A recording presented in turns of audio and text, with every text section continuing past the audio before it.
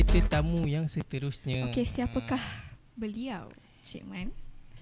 so kita dah nampak dia, dia pun dah duduk dah bersedia Dah dah. bersedia? Okey.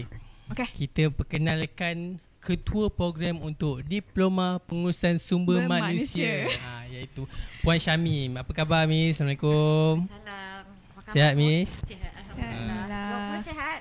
Alhamdulillah Sihat. sihat. Alhamdulillah. Ah. ke tak Ah ada tak kan? ada Cun. Alhamdulillah sihat Kalau ada simptom Saya tak dekat sini rasa warga KTAC ni semua okey lah. Good, good. Bagus. Yes. Kita KTAC Memang Terbaik bagus kan? ah, Yes terbaik College paling mudah di. KL Ah, Betul. yeah. Ah. Betul. Bukan paling ceria ke? Eh semua lah Miss Semua Ah. Semua Bukan yang setakat pelajar, sekali-sekali lecturer pun. Ah, itulah kan. Semua Betul. yang positif Semua berkaitan InsyaAllah, insyaAllah. ah, Betul, Yes betul, betul. Okay So Soal uh, Boleh tak Miss Terangkan Okey, jap eh. Okay jap jap Okay touch up dulu Touch up dulu Ah, Touch up dulu Okey. Okey. Okey, kita- kita dengar touch up. Boleh dengar tak? Diploma. Pen- Bukan bukan pendidikan Pengurusan Janganlah. sumber manusia ah. Pengurusan sumber manusia ya. Jangan typo depan kamera tak? ah, Jangan typo Okay So Soalan saya lah Miss Eh, sorry. Diploma Pengurusan Sumber Manusia. Ada typo error. uh, Oh oh Miss yang typo Okay, Okey, tak Ingatkan apa, saya tak typo tadi Okay Miss boleh tak terangkan Apa itu DPSM sebenarnya Oh lah, DPSM. Okey, DPSM ni Diploma Sumber Manusia ni adalah satu program ya di mana hmm? kita ni program ni mengajar pelajar-pelajar untuk menguruskan pekerja.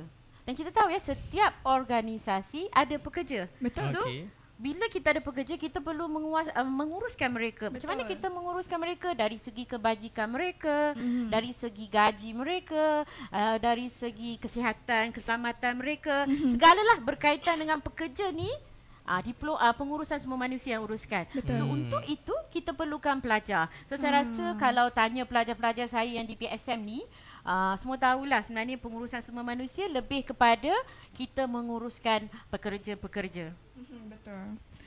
Alright. Okay, boleh uh, Puan Syamim uh, kenalkan lecturer-lecturer di PSM. Boleh boleh. Saya pun nak kenal Saya pun nak kenal. kenal. Okay. Okay. Tak boleh kenal kenalkan ke? diri sendiri Bukan tak kenal boleh. Tapi Tak Mendak- banyak lecturer yang kami Ah, kenal dalami. InsyaAllah, lagi. insyaAllah. Uh, Sam ni kot ada yang akan mungkin ajar uh, pelajar-pelajar jugalah. Hmm. Okey. Mhm. Uh, saya terus pergilah kepada yang Okey. pertama eh. Uh, Ah. iaitu saya lah sebagai ketua program. Ya. Uh, tahu nama saya pada kat situ Syamim Banu binti Ahmad Tinun. Saya rasa kebanyakan pelajar dah ada nombor handphone saya. Kalau yang tak ada sila ambil lah handphone saya 016 uh, 2639 ataupun hubungi saya melalui email saya lah, email official saya ya. Okey. Uh, makluman juga untuk pelajar eh, especially saya rasa untuk semua pelajar di PSM awak dah ada grup masing-masing eh? Maksudnya saya dah ada grup uh, untuk SEM 1, SEM 2, SEM 3, SEM Hmm. 4 andai katalah sesiapa yang tengok ni tiba-tiba terlepas ke ataupun rasa eh saya tak masuk lagi dalam grup. Jangan risau just WhatsApp saya kalau boleh WhatsApp ataupun email saya.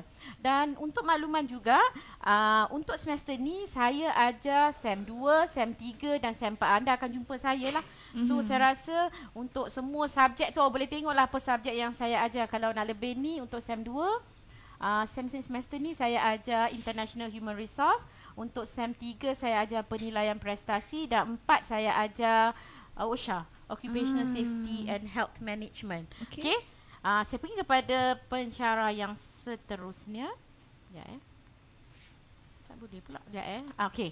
Ini pensyarah saya rasa yang ni pensyarah yang famous jugalah ramai orang kenal dia. Ah, tak tak semestinya uh, pelajar di PSM, pelajar DEM, siapa saja yang ambil uh, program ataupun subjek pengurusan semua Malaysia kenal uh, Puan Ainina, namanya Puan Nur Ainina. Uh, handphone, nombor handphone dah ada kat situ dan juga nombor email. Saya rasa kalau nak hubungi Puan Ainina, just hubungi melalui nombor handphone dia. Dan subjek dia, dia ajar semua subjek. Maksudnya dari SEM pertama sampailah SEM 4, 5, dia akan ajar. Sebab dia memang orang yang pure untuk semua manusia lah. Mhm. Okey? Uh, subjek-subjek saya rasa awak boleh tengok, eh, pelajar boleh tengok. Saya pergi kepada pen, pensyarah yang seterusnya. Okey. Um, pensyarah yang seterusnya adalah Puan Ruslida eh. Okey, Puan Ruslida nombor handphone dia pun dah tertera di situ dan juga bersama dengan nombor ya sorry email dia. Uh, dia lebih kepada pensyarah komunikasi ya, bermaksud eh uh, dia akan ajar lebih kepada subjek-subjek komunikasi, personality development, pembangunan Ah. kejaya. So anda akan jumpalah Puan Ruslida ni. Yang seterusnya ah, ni uh, antara Ah. hero. Hero yang ada di DPSM lah pensyarah hero yang ada dalam program kami iaitu Encik Hazimin. Okay, Encik Hazimin ni bukan saya rasa bukan um, pelajar DPSM dia. Saya rasa semua pelajar akan jumpa. Sebabnya dia ajar subjek law.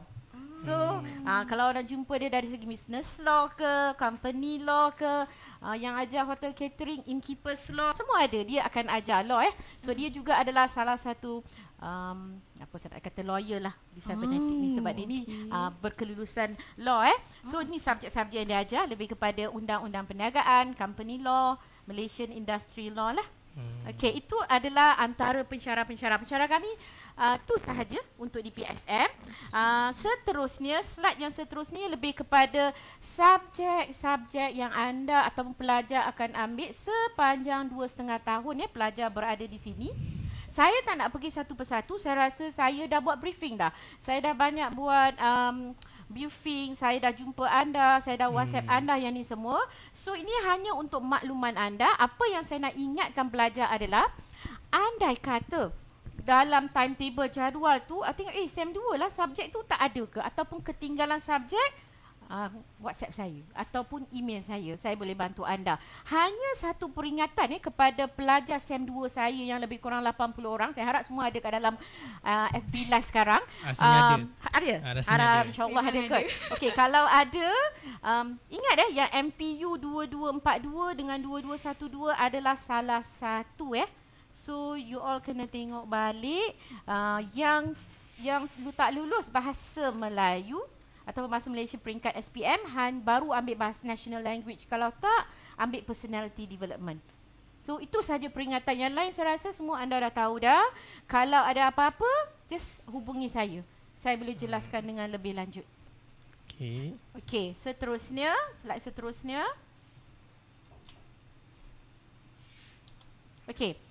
Untuk jadual kelas, saya rasa saya dah letak dah, saya dah hantar dah kepada anda dalam grup masing-masing. Um, so ikuti jadual tersebut. Um, besar kemungkinan ni dalam satu atau dua minggu ni akan ada perubahan sedikit. Andai kata ada perubahan, saya akan updatekan melalui WhatsApp.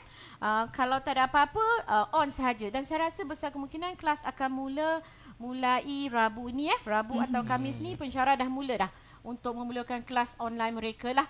Uh, seperti yang kita kata, insyaAllah kita cuba dengan online. Saya pun nak juga jumpa anda semua, rindu dengan pelajar secara fizikal.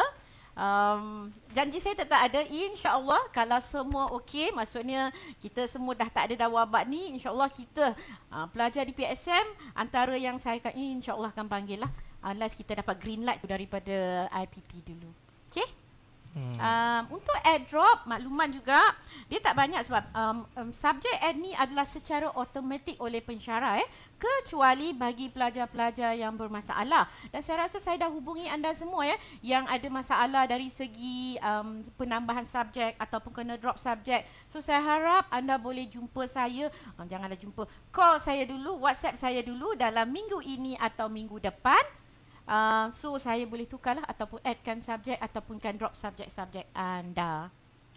Okey. Okay, Itu Miss. sahaja? Saya ada Okay. beberapa soalan Oh, untuk Miss. boleh. Sebab kita tahu di PSM um, sumber manusia ya. Mm-mm. Okey, soalan pertama saya. Apakah peluang pekerjaan bagi kos di PSM?